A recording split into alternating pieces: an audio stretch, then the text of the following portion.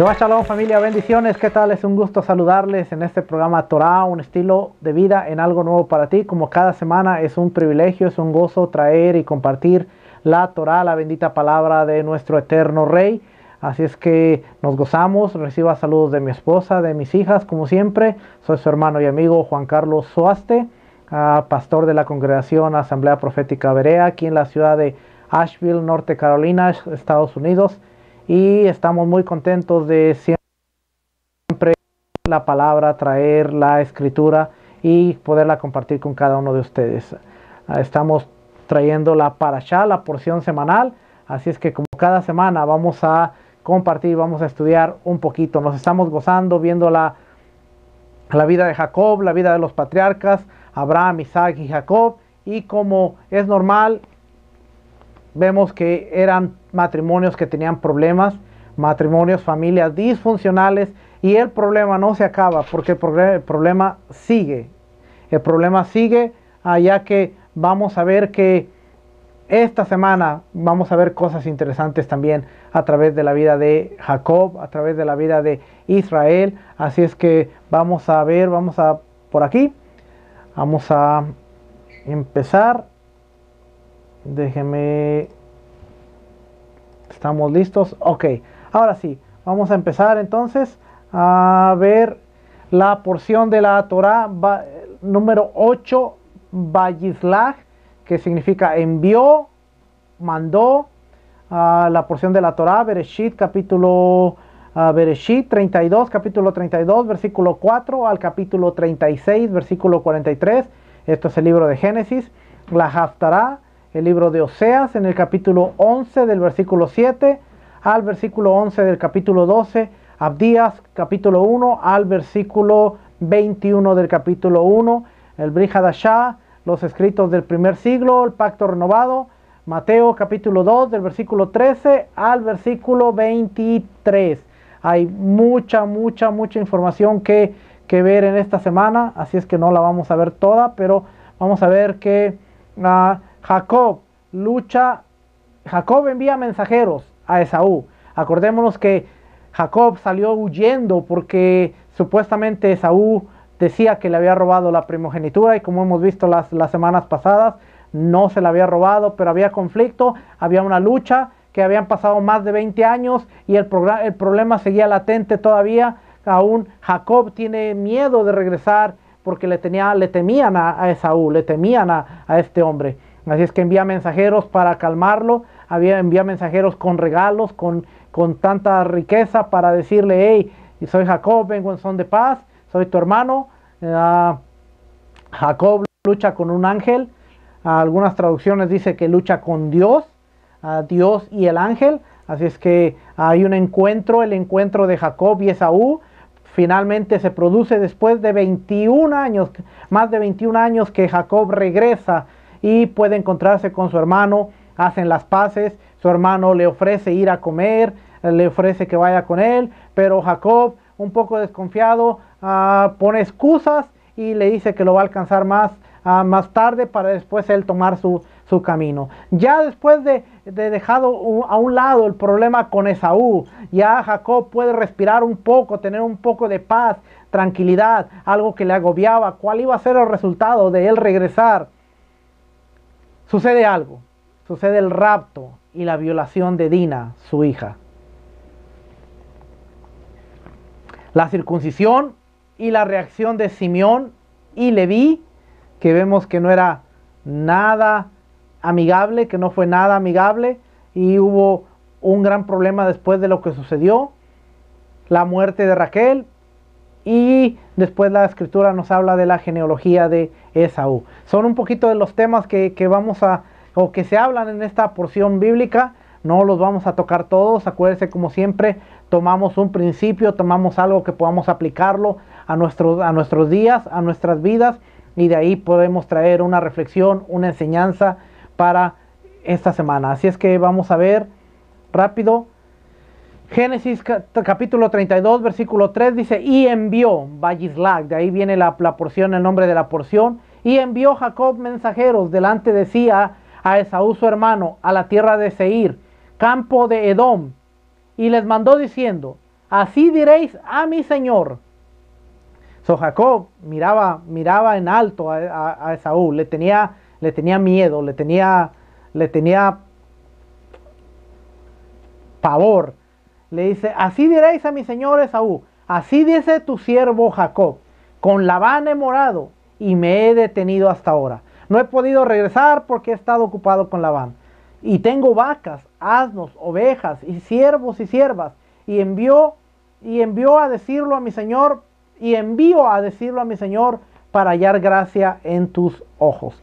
Jacob estaba tratando de suavizar un poco la situación y le dice, tengo vacas, asnos, ovejas, siervos, siervas, y, te lo envío, te lo envío a decir para que delante de tus ojos, para, para, para hacer una remuneración por el daño que te, que te causé.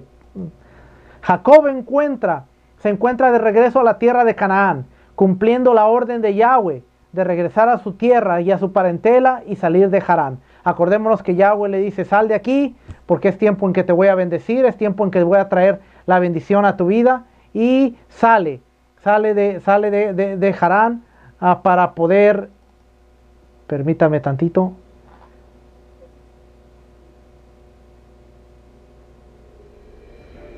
ahora sí, faltaba la, faltaba la música.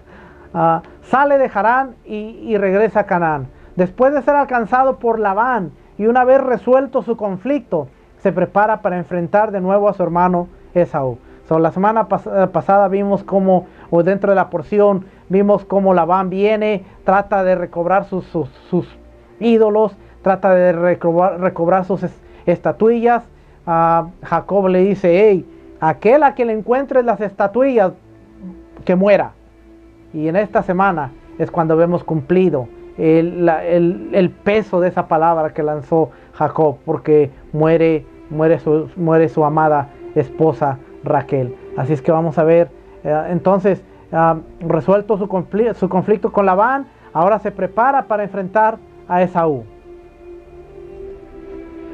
Frente al temor de ser destruido por Esaú, ¿Cómo fue su promesa? Porque Saúl le dijo, hey, cuando mi padre muera, te voy a destruir. Isaac todavía no había, muerto, pero ahora que viene Jacob, él tiene miedo y dice, Esaú va a cumplir su promesa. So, frente al temor de ser destruido por Esaú, como fue su promesa, Jacob reúne a su familia. Oiga, ponga atención porque esta semana vamos a ver algo bien, bien, bien interesante.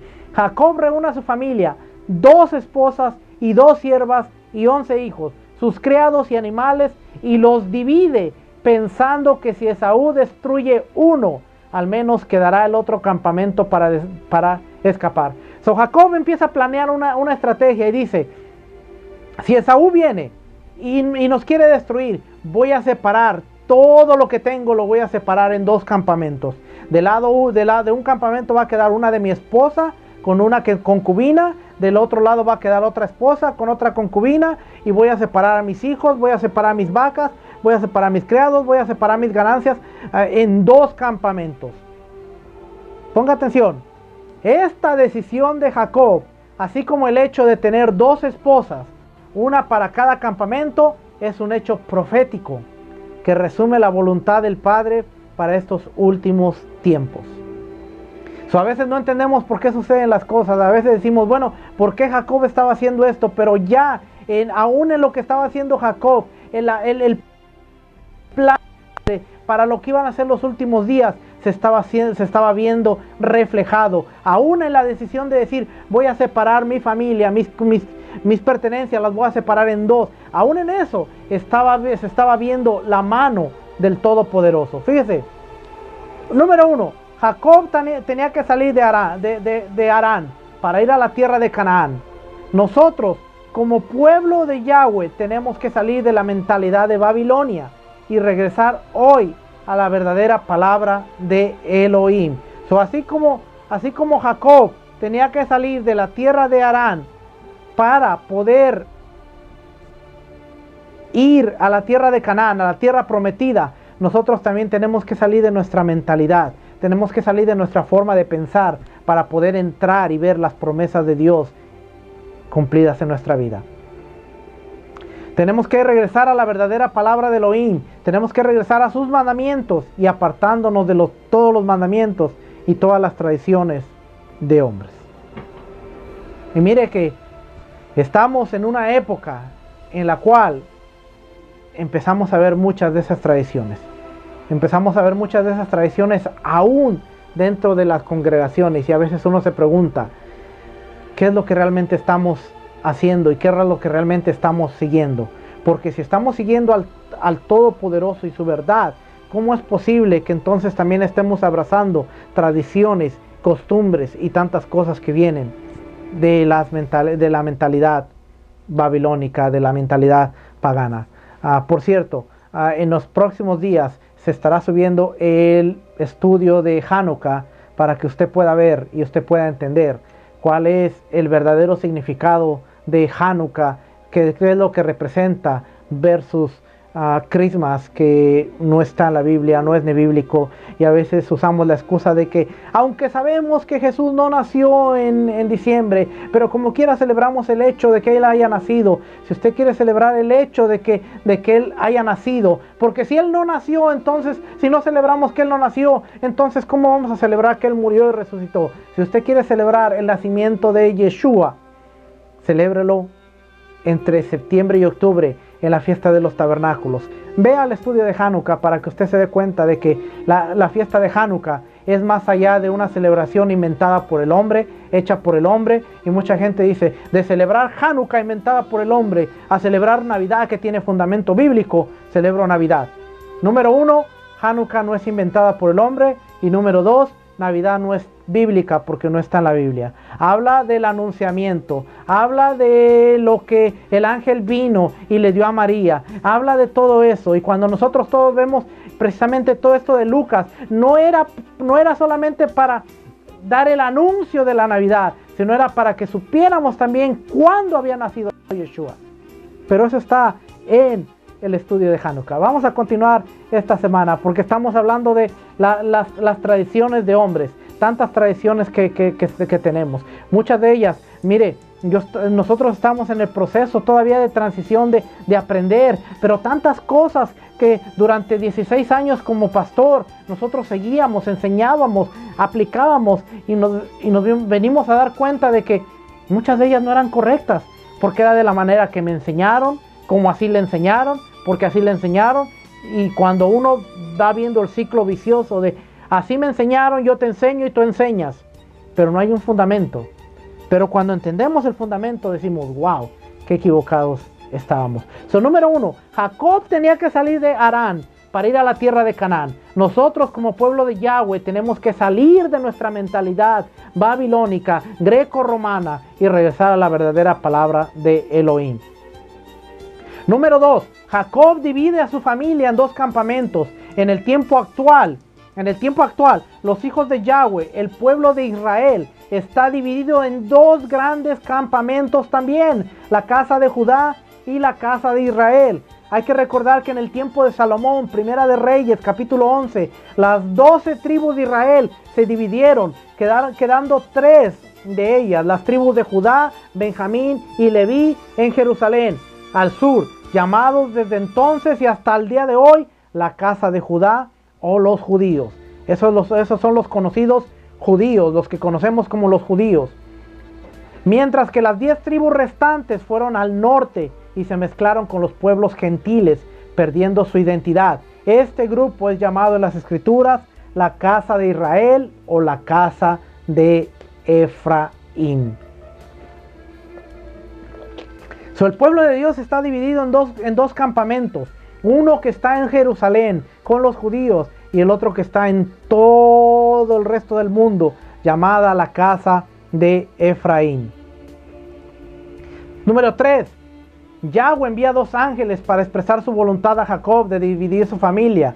Fue por su voluntad de, que Yahweh, de Yahweh que se dividieron las tribus de Israel en Primera de Reyes capítulo 11 versículo 31 Dice, y dijo a Jeroboam, toma para ti los diez pedazos, porque así dijo Yahweh, Dios de Israel, he aquí yo rompo el reino de la mano de Salomón, y a ti te daré diez tribus, y él tendrá una tribu por amor a David mi siervo, y por amor a Jerusalén, ciudad que yo he elegido de todas las tribus de Israel. Sabemos que así como Yahweh permite que Jacob divida sus campamentos, también Yahweh en el capítulo 11 del libro de Reyes expresa que el reino, las doce tribus, el reino que había mantenido David unido, se iba a dividir, dejándole una tribu a, Salomón. Pero no, no solamente se quedó una tribu, porque se iba a quedar la tribu de, la tribu de Judá, de donde venían los, venían los reyes. Pero también se quedó la tribu de Leví, porque estaba el templo. Y también se quedó la tribu de Benjamín, porque Saúl era de la tribu de Benjamín. Y muchos esperaban que otra vez el reinado les llegara a la tribu de Benjamín para poder tomarlo. Así es que estas tres tribus y un poquito de las otras se quedaron en Jerusalén y las demás esparcidas. Al igual que Jacob dice, vamos a dividirlos. Pero hay más conexiones, vamos a ver. Cuatro, dos esposas, Lea y Raquel. La casa de Judá, liderada lógicamente por Judá, llamada la casa de David, es hija de Lea, porque Lea fue la mamá de Judá. La casa de Israel, liderada por José, quien recibió la bendición tanto de la primogenitura como la descendencia numerosa, es hija de Raquel. Y Jacob divide los campamentos, pone a Lea de un lado y pone a Rebeca de otro lado. Para que vea que todo en el plan profético de Dios está aún desde que, desde que estudiamos las porciones, vemos que en los últimos días ya estaban escritos y que se llevarían a cabo. Judá siendo un campamento, Israel, Efraín siendo el otro campamento, que al final se juntarían. Y vamos a ver qué más sigue aquí adelante. 5. Temían a Esaú, temen a Esaú. Actualmente el conflicto es el descendientes directos de Esaú se prepara y amenaza para destruir al pueblo de Yahweh, la casa de Judá y la casa de Efraín, incluido, incluido lo que hoy se conoce también como cristianismo, que aunque no ha, abrazado, no, no ha sido abrazado totalmente a la casa de Efraín, pero están en el despertar y oramos, oramos para que también despierten completamente, porque aunque conocen, aunque conocen a Yeshua, a Jesús, como yo lo hacía en un tiempo, no conocen todavía la revelación completa de los mandamientos y la legalidad de la escritura. pero pues, actualmente tememos a Saúl, el pueblo musulmán, que son los descendientes directos de de Saúl y que se preparan alrededor de todo el mundo con la amenaza de destruir al pueblo de Yahweh. ¿Con quién hizo Yahweh el, el llamado nuevo pacto? Sellado con la presencia del Ruach HaKodesh, del Espíritu Santo con la iglesia cristiana independientemente del pueblo de Israel? Dice Hebreos capítulo 8:8, porque reprendiéndolos dice, he aquí vienen días, dice el Señor, en que estableceré con la casa de Israel un campamento, la casa de Israel, Efraín, y la casa de Judá, el otro campamento, un nuevo pacto. Si Yeshua vino para fundar un grupo independiente llamado cristianismo, ¿por qué el nuevo pacto es solamente con la casa de Israel y la casa de Judá. Y Hebreos se escribió después de la muerte y resurrección de Yeshua y no menciona en nada a los nuevos cristianos o a los nuevos creyentes. Sigue diciendo la casa de Israel y la casa de Judá. Ese es el nuevo pacto. Este es el nuevo pacto en mi sangre. muchas veces tenemos que conocer el contexto para poder entender todo lo que nos lleva al nuevo pacto, entender los, los pactos, las promesas y todo lo que la escritura nos dice. Eh, Hebreos está escrito mucho tiempo, casi 70 años, casi 70 años después de la muerte y, muerte y resurrección de Yeshua. Y en ningún momento dice los nuevos creyentes, dice la casa de Israel. Tengo otras ovejas que no son de este rebaño, la casa de Israel. Yo no he sido llamado sino a las ovejas de la casa de Israel y la casa de Judá. Cuando se junten y nuevamente se una al campamento, Podemos ver ahora la profecía dentro del texto de Génesis. Es voluntad del Padre Eterno que estemos divididos en dos grupos. Nos preparamos para enfrentar a Saúl, el pueblo musulmán, y seremos unidos en una sola casa, la casa de Israel, completa en la mano de Yahweh, justo antes de la venida de Yeshua, el Mesías de Israel. Ezequiel 37 dice, Hijo de hombre, toma ahora para los hijos de Israel sus compañeros.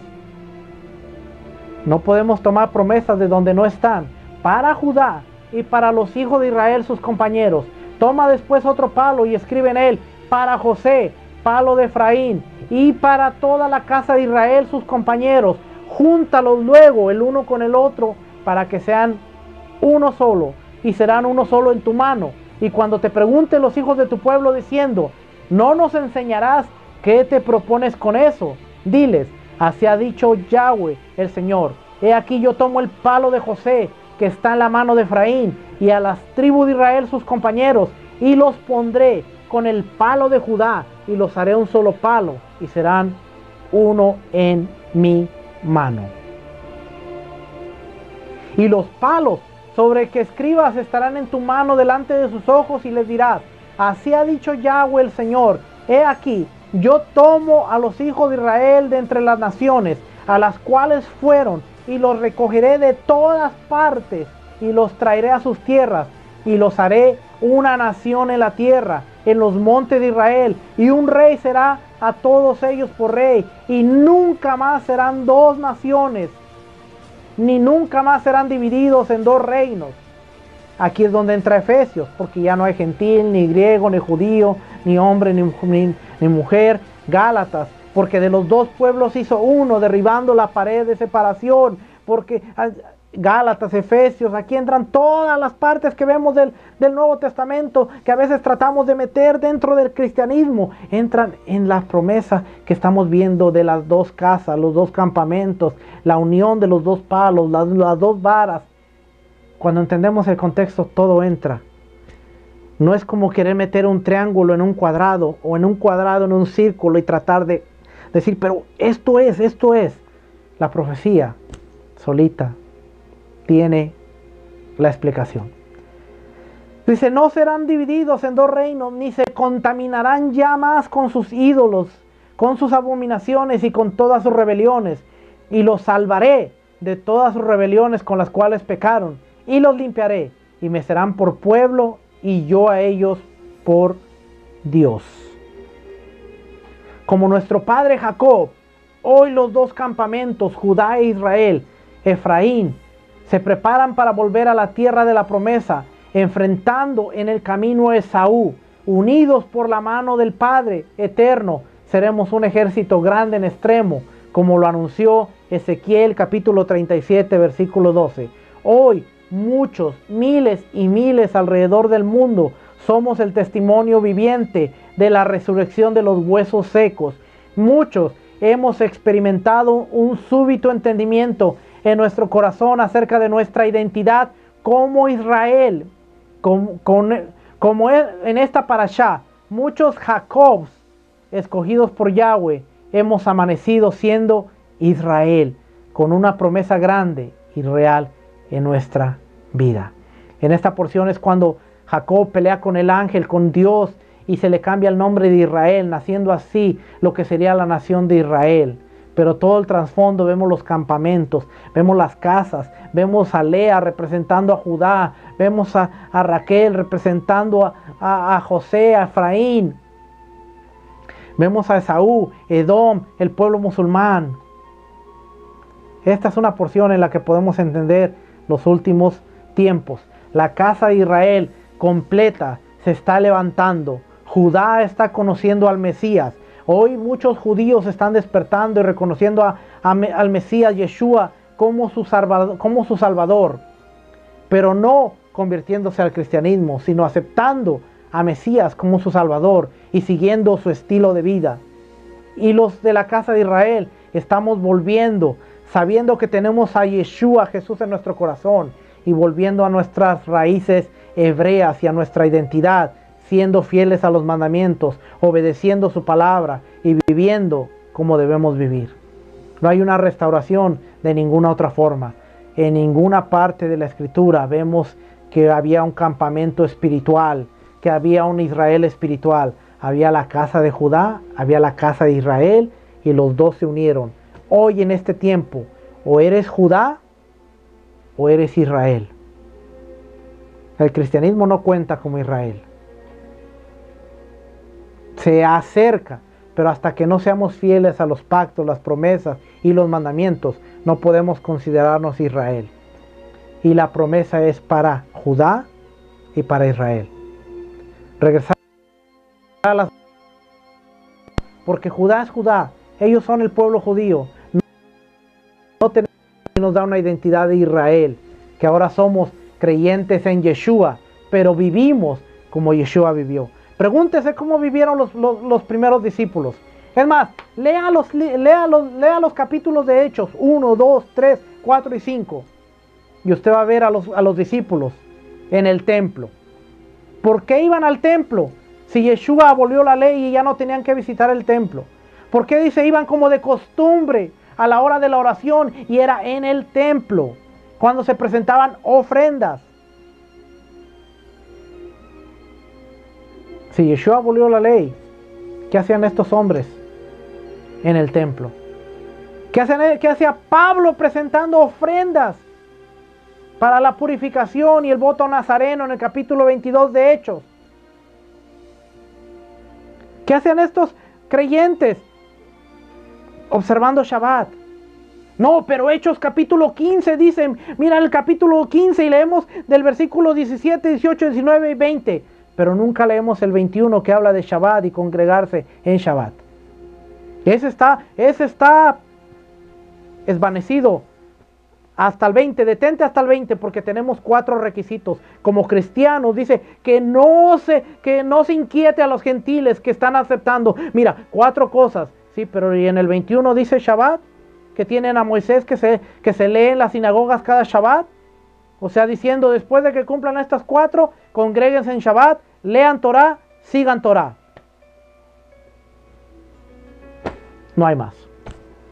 No podemos sacar la Biblia de su contexto, hermanos. Mire, yo, lo saqué, yo la saqué muchos años, la saqué mucho tiempo y no sabe cómo yo le pido perdón al, al Eterno cada día por todas esas malas palabras que salían de mi boca. No groserías, pero palabras en contra de los mandamientos, palabras que no estaban en contra de, que no estaban escritas en la, en la palabra, textos fuera de contextos. Seamos serios a la hora de enseñar, seamos serios a la hora de aplicar la escritura, que nuestra salvación depende de ello. Somos salvos por gracia. Pero si estudiamos, si estudiamos el contexto de salvación, redención, nos vamos a quedar muy sorprendidos. ¿Qué podemos aprender de la porción de esta semana? Jacob dividió su campamento. Jacob le temía a Saúl, y así como en los últimos tiempos, el campamento del Eterno sigue dividido.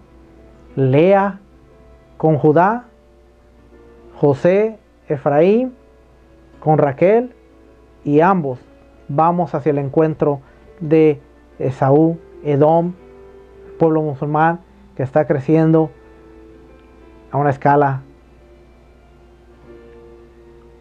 horrible.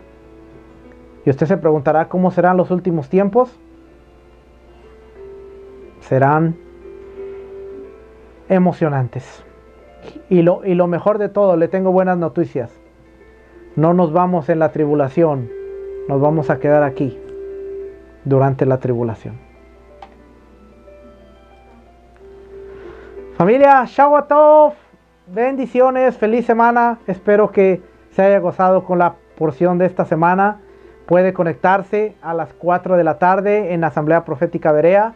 Vamos a estar viendo cosas bien interesantes de una, la versión más extensa de lo que es esta porción.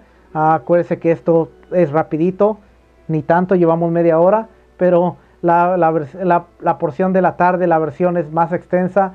Vamos a, estar, vamos a estar hablando, es más, le voy a dar un adelanto, vamos a estar hablando de Dina y lo que sucedió.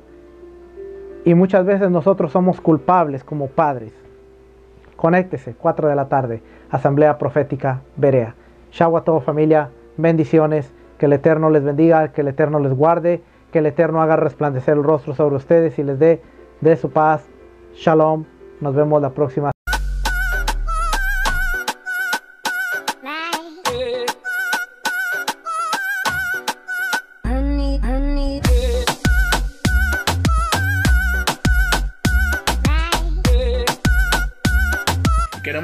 sea parte de esta campaña Unidos contra Billow poniendo verdad ese link que está en pantalla en su página de GoFundMe y pueda donar, hacer una donación para ayudar en esta batalla contra el cáncer.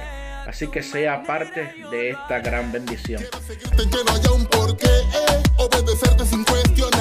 eh. seguir caminando aunque no hacerlo a tu manera. Quiero seguirte en que no haya un porqué, eh. obedecerte sin cuestionarte, seguir caminando aunque no pueda ver. Vamos a hacerlo a tu manera. Llévame de tu mano, Dios, que no sea yo hablando, que sea tu voz. Desde hoy sigo tu paso confiando en tu palabra y entregándote